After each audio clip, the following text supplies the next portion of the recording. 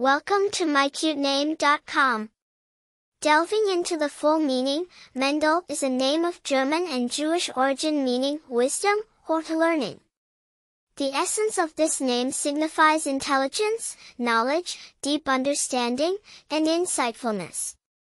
Emerging from antiquity, Mendel has a rich German and Jewish ancestry.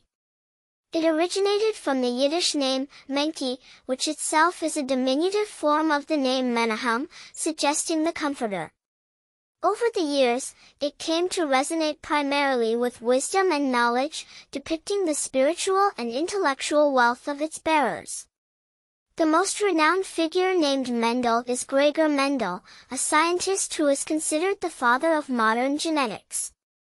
His works in the field of plant experimentation led to key insights in heredity laws. This association makes Mendel a popular choice among intellectual circles.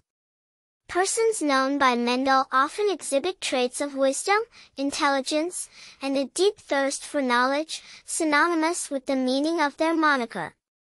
For more interesting information, visit mycutename.com.